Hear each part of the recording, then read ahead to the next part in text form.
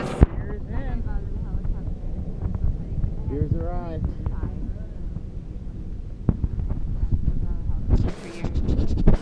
I come out to the drop zone in Montana. Yo yo.